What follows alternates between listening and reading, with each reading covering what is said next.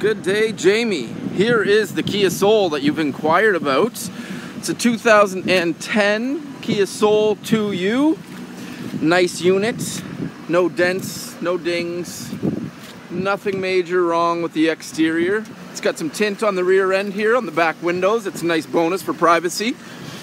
Let's take a quick look inside. Of course, you've got your power windows, mirrors, and locks. This one has under 100,000 kilometers, Jayme. 96,890. Bonus. I mean, for 2010, that's extremely low. One great thing about this unit, it actually has the extra set of spare tires for you. Now, there are seats underneath them tires. That's not what the car is going to look like. We will lift them out and show you exactly what's going on.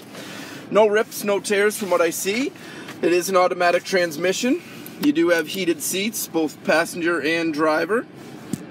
USB port and auxiliary port for your smartphone. Go ahead and hook them up. You can talk hands-free that way. It's also set up with Bluetooth. Uh, you got your CD player, AM FM radio, everything's set up there at the touch of a button. On your steering wheel, you can go ahead and push everything you want. Answer your phone, hang up your phone, voice recognition, cruise control, volume, change the station, everything right there for you, Jayme. It's all at the touch of a button. Like I say, no rips, no tears, no dents, no burns. Looks like a nice clean unit.